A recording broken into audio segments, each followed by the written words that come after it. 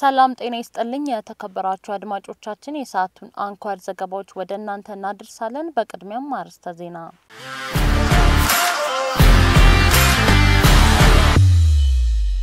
የባልደራስ ከፍተኛ አመራር ከአሜሪካ ኤምባሲ የስራ ኃላፊዎች ጋር ተወያዩ። የወሎ ዩኒቨርሲቲ በጦርነቱ የ11.9 ቢሊዮን ብር የሚገመት ንብረት ውድመት ደረሰበት። በከረዩ የሚችሌ ገዳ የጅላ አባላት ላይ ግድያ የፈጸሙና ያስፈጸሙ የጸጥታና የአስተዳደር አባላት ላይ ተገቢውን የወንጀል ምርመራ ተደርጎ ለፍትህ ሊቀርቡ ይገባል ተባለ። የአፍሪካ ህብረት አርባኛ የስራ አስፈጻሚዎች ምክር ቤት ጉባኤ ተጀመረ። በአማራ ክልል ርዕሰ መስተዳደር ዶክተር ይልቃል ከፋለ የተመራ ልዑክ ጅጅጋ ከተማ ገባ። በአፍሪካ የግብርና ልማት ዘርፍ ላይ የሚያተኩረው ፕሮግራም ሪፖርት ለመሪዎች ጉባኤ ሊቀርባል ተባለ። የሚሉት የዕለቱ አርዕስተ ዜናዎቻችን ናቸው። አሁን ወደ ያዝናቸው መረጃዎች እናልፋለን። አብራችሁን ቆዩ። የባልደራስ ከፍተኛ አመራር ከአሜሪካ ኤምባሲ የስራ ኃላፊዎች ጋር ተወያዩ።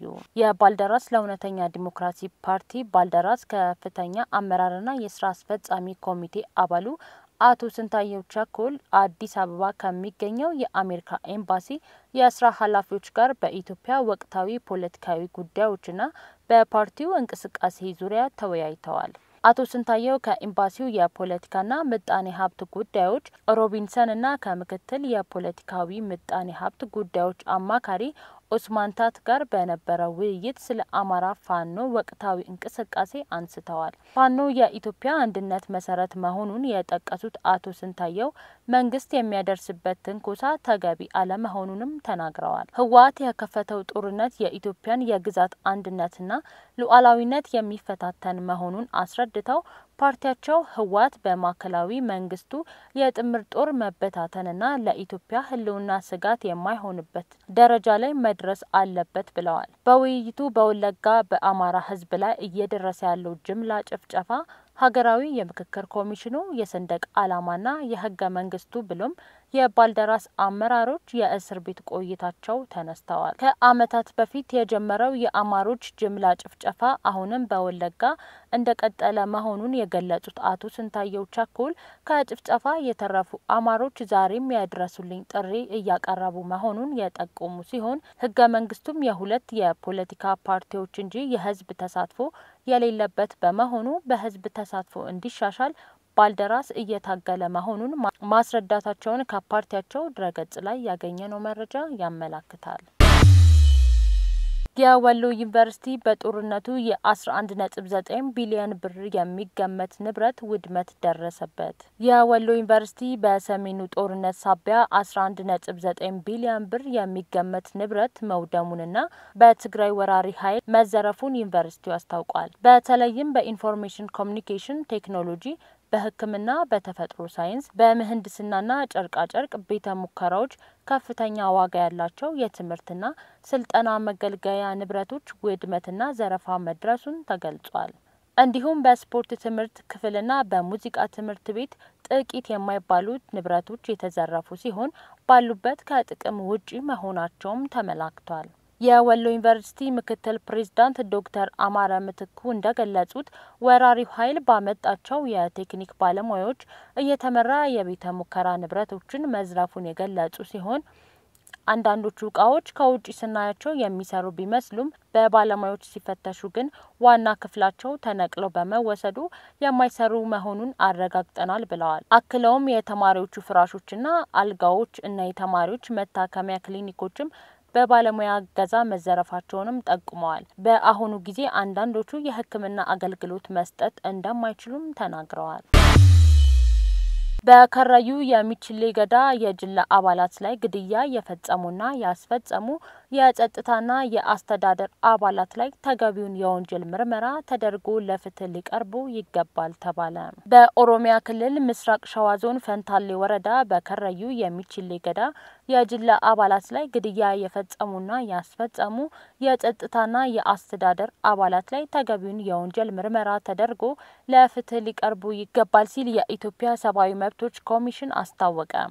ኢሰመኮ ለሟቾች ቤተሰብና ለአካል ጉዳት ለደረሰባቸው ጉዳት ተገቢ የሆነ ካሳ ሊሰጣቸው እንደሚገባም ባወጣው ጋዜጣዊ መግለጫ ገልጿል። ኮሚሽኑ በሪፖርቱ ባወጣው መግለጫ አስራ አራት የከረዩ የሚሊሺ ገዳ አባላት በህዳር 22 ቀን 2014 ዓመተ ምህረት በመንግስት የጸጥታ አካላት በቁጥጥር ስር ከዋሉ በኋላ በግዳጅ ወደ ጫካ ቦታ ተወስደውና የጸጥታና የአካባቢ አስተዳደር ሰዎች ባሉበት ጭካኔ በተሞላ ሁኔታ በጥይት ተመተው የተገደሉ መሆኑንና ይህም በህግ ውስጥ የተፈጸመ ግድያ ስለመሆኑ በምክንያታዊ ሁኔታ አሳማኝ ሆኖ ማግኘቱን ገልጿል። የአፍሪካ ህብረት አርባኛው የስራ አስፈጻሚዎች ምክር ቤት ጉባኤ ተጀመረ።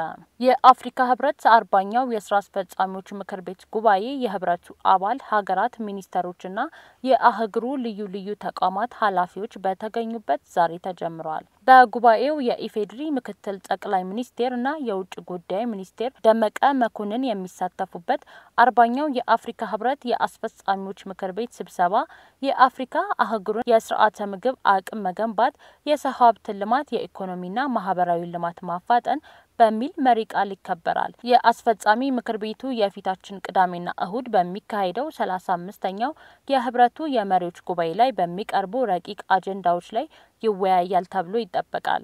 በአርባኛው የአፍሪካ ህብረት የስራ አስፈጻሚ ምክር ቤት ጉባኤ ላይ ለመሳተፍ የምስራቅና ደቡባዊ አፍሪካ አገራት የጋራ ገበያ ኮሚሳ ዋና ጸሐፊ ጨምሮ በርካታ የህብረቱ አባል ሀገራት የውጭ ጉዳይ ሚኒስቴሮች አዲስ አበባ መግባታቸው ይታወቃል። የአማራ ክልል ርዕሰ መስተዳደር ዶክተር ይልቃል ከፋለ የተመራው ልዑክ በሶማሌ ክልል በድርቅ በድርቅ ለተጎዱ ወገኖች ድጋፍ ለማድረግ ጅጅጋ ከተማ ገብተዋል። የልዑካኑ ቡድን ገራድ ዊልወል አውሮፕላን ማረፊያ ሲደርሱ የሶማሌ ክልል ርዕሰ መስተዳደር ሙስጠፌ መሐመድ አቀባበል አድርገውላቸዋል። ልዑኩ ወደ ስፍራው ያቀናው በክልሉ በተከሰተው ድርቅ ጉዳት ለደረሰባቸው ወገኖች ድጋፍ ለማድረግ መሆኑን ከሶማሌ ክልል ኮሚኒኬሽን ያገኘነው መረጃ ያመላክታል። በተያያዘ ዜና የአማራ ክልል በኦሮሚያ ክልል በኦሮሚያ ክልል በጉጂ ቦረናና ባሌ አካባቢ በድርቅ ለተጎዱ አርብቶ አደሮች ድጋፍ አድርጓል። ድጋፉን በተመለከተ የአማራ ክልል ርዕሰ መስተዳደር ዶክተር ይልቃል ከፋለ፣ የኦሮሚያ ክልል ርዕሰ መስተዳደር ሽመልስ አብዲሳ በጋራ መግለጫ ሰጥተዋል። የክልሎቹ ርዕሳናት መስተዳደሮች የኢትዮጵያን መጻኢ ዕድል ለማረጋገጥ በጋራ እንሰራለን ብለዋል። ኢትዮጵያ የገጠማትን ችግር መቀልበስ የሚቻለው ክልሎች እርስ በእርስ መደጋገፍ ሲችሉ መሆኑንም ጠቁመዋል። በአፍሪካ የግብርና ልማት ዘርፍ ላይ የሚያተኩረው ፕሮግራም ሪፖርት ለመሪዎች ጉባኤ ይቀርባል ተባለ። በአፍሪካ እንዲተገበር በወጣው በግብርና ልማት ዘርፍ ላይ የሚያተኩረው ፕሮግራም በሚመለከት ለመሪዎች ጉባኤ ሪፖርት ቀርቦ ውይይት እንደሚደረግበት የመንግስት ኮሚኒኬሽን አገልግሎት አስታወቀ። የመንግስት ኮሚኒኬሽን አገልግሎት ሚኒስቴር ዴኤታ ሰላማዊት ካሳ በወቅታዊ ጉዳዮች ላይ መግለጫ ሰጥተዋል።